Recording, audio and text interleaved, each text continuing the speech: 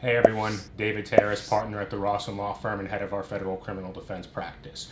We're continuing our series today on PPP fraud, Paycheck Protection Program. What we're going to be talking about today are the specific crimes that are being investigated, charged, prosecuted, what crimes are people pleading to, that our clients are pleading to, that we're defending them in trial on, because PPP fraud is the general scheme. It's the uh, name of the task force, and it's the name of this grand element of a certain type of fraud as it relates to the PPP loan applications. But there are still long standing specific charges, criminal charges, that go into these and that are actually prosecuted and charged in these cases.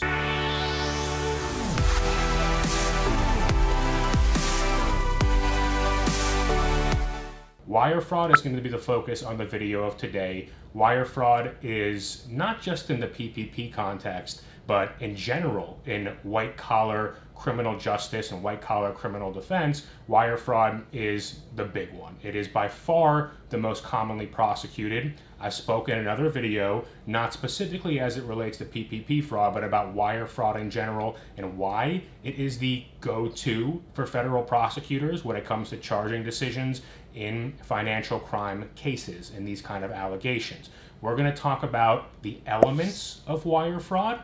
We're going to talk about the potential penalties for wire fraud. And then in a subsequent video, we're going to talk about how the Rossen Law Firm, how myself and my partners defend against wire fraud cases in the PPP fraud context. So in the context of wire fraud, comparing it specifically to PPP fraud, there are a lot of different ways depending on the circumstances and the fact of the case that wire fraud is brought.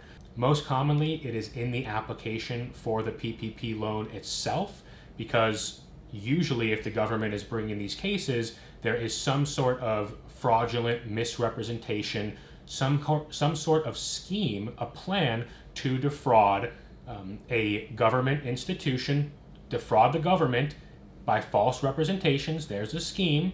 Okay, in order to induce them, in order to defraud the government into giving you something of value, the loan, okay? And in doing so, you used electronic devices, you used a form of communication um, that has the ability to travel across state lines, interstate communication. And very often, the material aspect, the material element, is very often met because the amount of money involved usually in almost every case is going to be considered material. But that's not to say that your case is shut and dry. You need to come and meet with us so we can talk to you specifically how prosecutors bring wire fraud charges in the context of PPP. So let's go down now into the four major elements of wire fraud. The elements necessary to prove wire fraud are first, that the defendant knowingly devised or participated in a scheme to defraud someone by using false or fraudulent pretenses, representations, or promises. Two, the false pretenses, representations, or promises were about a material fact. Material, remember that. Three, the defendant acted with the intent to defraud. The big one, intent. And four, the defendant transmitted or caused to be transmitted by wire some communication in interstate commerce or across state lines to help carry out the scheme to defraud or in furtherance of the scheme. Those are the four major elements. We're now going to break down each of the elements and talk about how each individual element of these main four actually play out in a PPP fraud investigation and prosecution. We're going to talk about in the next video how we defend against them, but pay very close attention here. And this video is very important because the defenses are inherently related to the language, the specific language of this charge of wire fraud itself. Because too many defense attorneys don't focus on word for word what actually is this crime. It's so overcharged, it's so broad, it is the golden child charge of the Department of Justice because they think they can get anybody for it. And that's why it's being used most commonly in PPP fraud cases. But you really have to understand it like we do at the Rossen Law Firm and break it down into its elements, into its individual context within any specific case. In a nutshell, before we jump deep into each individual element, just understand that at the end of the day, wire fraud is someone knowingly and voluntarily using some device that is capable of interstate or passing transmissions along state lines, usually an electronic device, cell phone, laptop, tablet, using email, something that passes along interstate wires in order to defraud somebody else. But this is why we're going to go into the elements now because it's so much more than that. Taken on its face, this basic understanding of what it is does not help us when we're preparing our case, reviewing our clients' cases to actually beat these cases in the courtroom. So let's jump into the elements. So the first element is a scheme or artifice to defraud. So scheme or artifice to defraud. Someone cannot accidentally commit wire fraud. Okay, there are defenses that we'll talk about where it could have been a mistake, it could have been in good faith, but there does, the statute does require, in order for you to be found guilty or to enter a plea, for the government to make a case against you, there has to be this concept of a scheme to defraud. Scheme does not have a real definition in the federal criminal justice system, but it's usually taken uh, as what it sounds like, and there are cases that have interpreted uh, the, the word scheme in different ways, but really what it is is a plan. It's a plan to defraud somebody.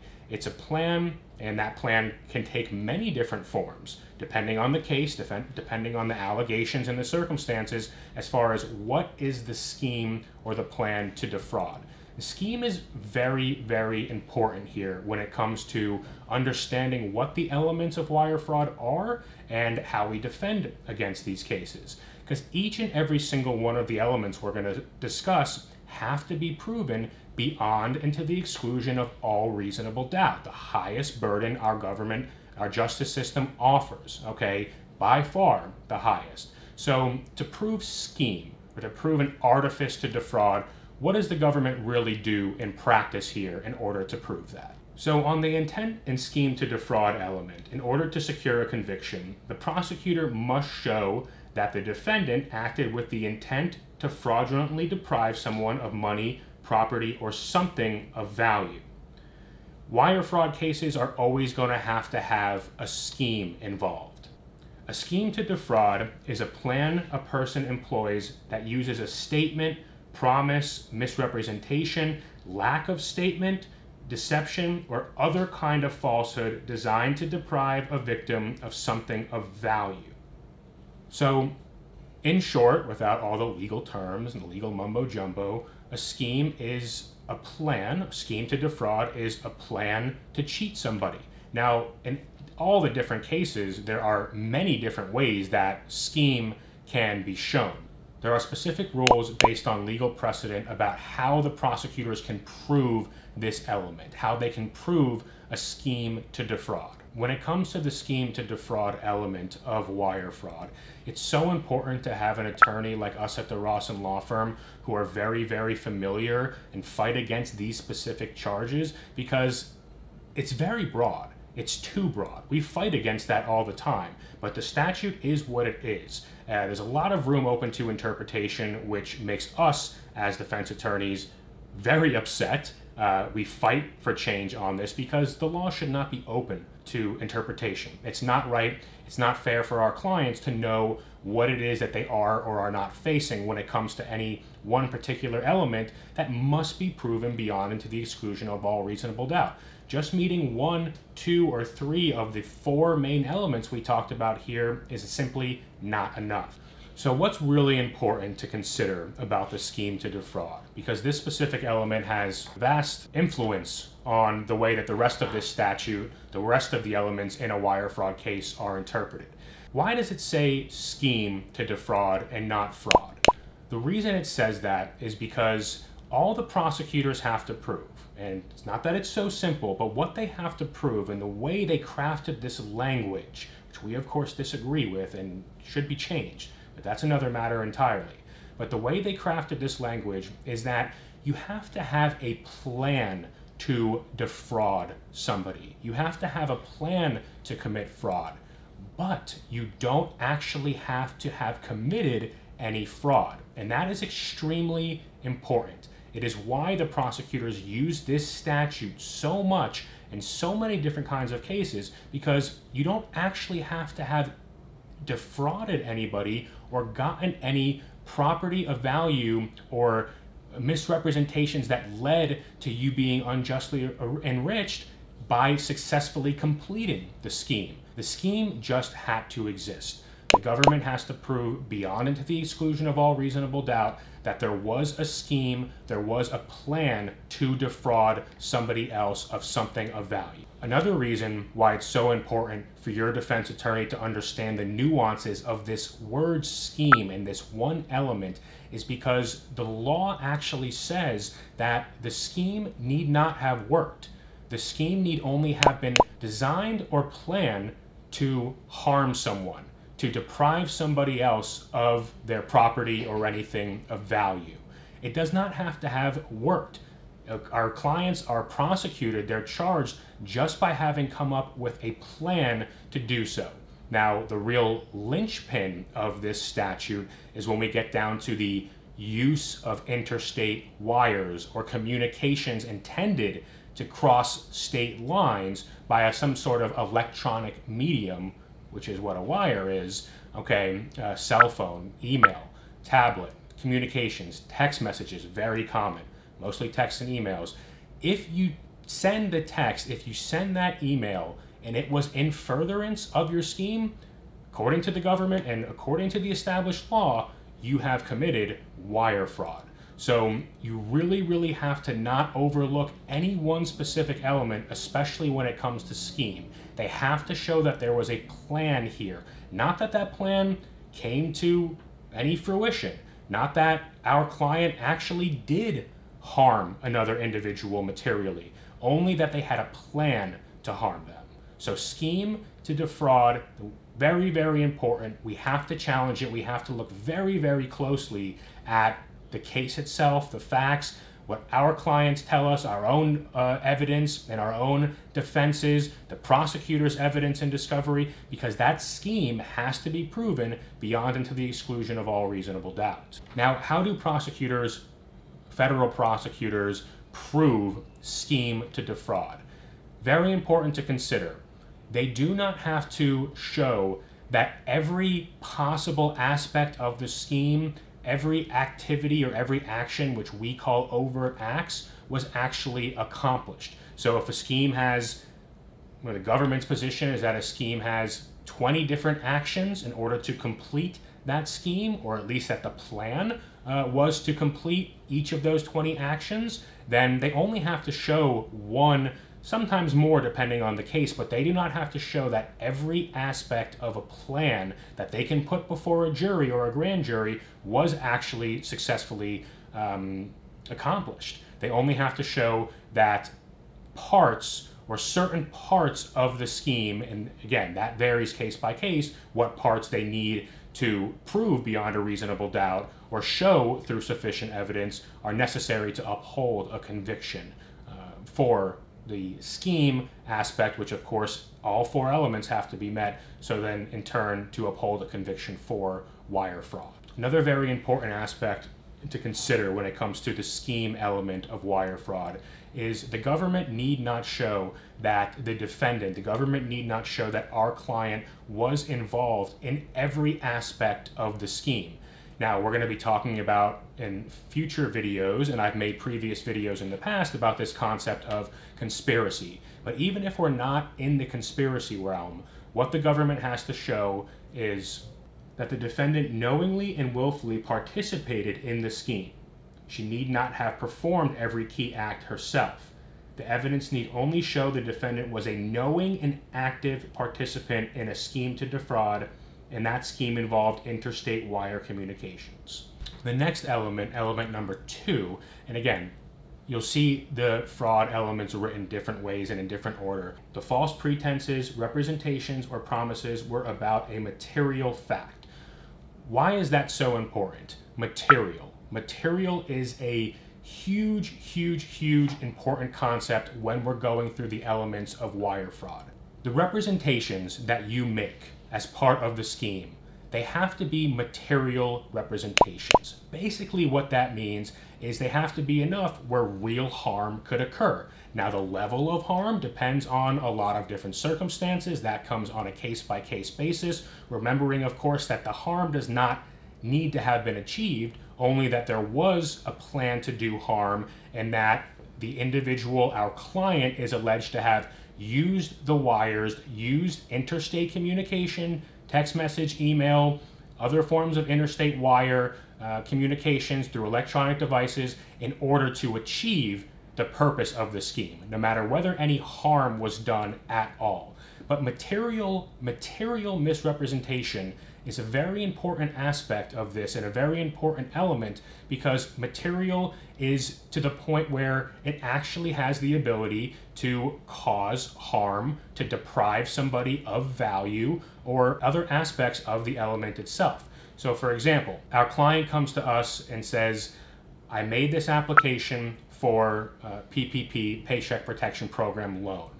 In my loan, when I was making it, I was filling it out, I represented in the first portion of the loan where you have to certify certain things like your expenses, your payroll, number of employees, the interest that you might have on your business, basically all the things the PPP program required our clients to say in the loan and everybody across the country requesting this loan why they were getting the loan.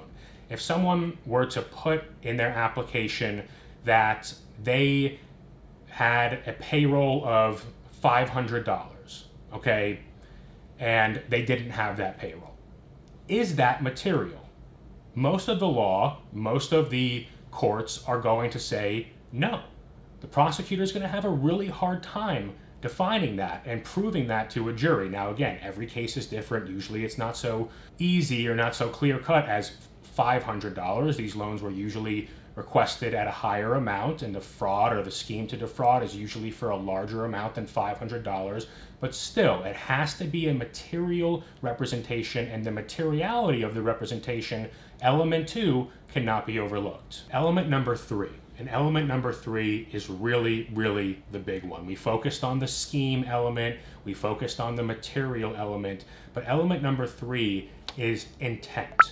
Intent is everything in a wire fraud defense because it is very, very hard for the government to prove. Is allowed to be proved through circumstantial evidence. That means that there does not have to be direct evidence of intent. That's very hard to accomplish because we don't know what's happening in somebody's mind, and that's really, unless they have confessed or they have put it in other form of writing uh, regarding what their intent was, very often it is not so easy for the prosecutors to prove intent beyond and to the exclusion of all reasonable doubt. And what is required in a wire fraud case, including the same thing for a PPP case that resulted in a wire fraud prosecution, is specific intent. Specific intent, not general intent. Specific intent is a very, very important concept you have to com- uh, consider in the concept of idea of wire fraud generally and also as wire fraud is prosecuted in the realm of PPP fraud. Specific intent is interesting here. And the government and the legislators have carved out a lot of ways to make it easier for the government, but still, it's not something that we just roll over on, okay? Because it does require a substantial amount of proof and it is very often only proved by circumstantial evidence. So, how does specific intent work in wire fraud? You have to have the intent, the specific intent to commit a scheme or to plan a scheme to defraud, and in order to commit that fraud, have used interstate wires, electronic communications, in order to complete the fraud. Even if the fraud was not completed, even if the scheme was not completed and nobody lost a penny, the charge is still met there. But specific intent is really important here. One thing that's unique about wire fraud as opposed to some of the other fraud crimes that we'll talk about in other videos when it comes to specific intent is you have to have the specific intent to devise or to plan or to operate a scheme to defraud. Why is that important? No actual fraud, no act of fraud is even required for a conviction of wire fraud in federal court. The fraud does not have to be accomplished. The specific intent is simply related. It's not so simple, but it is related to the creation of the scheme itself and then use of the wires, use of interstate communications to accomplish that scheme. Again, regardless of whether it was in fact accomplished. So we fight intent very hard. It's nuanced. There is a lot of law that goes into intent. We're going to talk about how we defend that in, in later videos in this series, but intent is by far the most important concept, and it is a very difficult and nuanced concept for defense attorneys who are not versed in these elements, in the law surrounding these elements, like the attorneys like myself, head of federal criminal defense at the Rossen Law Firm. The last element we're going to address here, element number four, is the defendant transmitted or caused to be transmitted by wire some communication in interstate commerce to help carry out the scheme to defraud federal courts don't have jurisdiction over state court matters. Okay, very important concept. So the wire transmission itself has to be used in furtherance of committing the scheme. The communications themselves, the wires themselves, do not have to contain any fraud in them whatsoever. That's why this fraud is the poster child of Department of Justice uh, charging decisions in financial cases, and specifically as it relates to PPP fraud as well. Because the text message could just be to someone about something related to the fraud, but nothing in the text being fraud itself or not a misrepresentation itself. They only have to show that a text message, a communication that has the capability of traveling across state wires was used in some way in furtherance of this scheme that they also have to prove beyond and to the exclusion of all reasonable doubt. So, when taken all four of these elements together, it is not so clear uh, that the government can prove this always beyond and to the exclusion of all reasonable doubt. We're going to talk about, and the reason why is because we're going to talk about all of the defenses we have and how we at the Rossen Law Firm break down each one of these elements into their part look at the facts of your case and say, was this material? Was this a scheme? How far did this scheme go? Was harm intended? Because that's often inferred, but not always the case. Was harm intended? And we'll talk about that in the defenses as well. Were there mistakes? All of this has to be broken down, each element bit by bit. The focus for sure being can they prove that our client had the intent to defraud? That's crucial in our defenses in these cases. And we fight them and we fight them well. It's so important to contact the Rossen Law Firm, to contact us as soon as possible, whether it's in the investigation or if it's already made its way to a prosecution, contact us because the penalties for wire fraud are very severe. Wire fraud is punishable by up to 20 years in prison and a $250,000 fine. Now, recently, specifically in the way that these prosecutions have, be, uh, have been brought in the COVID 19 disaster pandemic emergency, there's a specific part of this statute that says if the wire fraud occurred or was in relation to a national emergency, which a lot of courts are finding that the pandemic meets, this concept, this legal notion of a national emergency, because it was declared by the federal government, the penalties are actually enhanced from 20 years to 30 years and $250,000 to $1 million. Okay, both of those, the incarceration and the financial penalty are both 100% on the table. You have to contact the Rossen Law Firm as early as possible so we can protect you from these very, very stringent, these very harsh penalties, which we do successfully all the time, and also because we have the expertise to break down this wire fraud statute to every single bit so that we can build the best possible defense for our clients.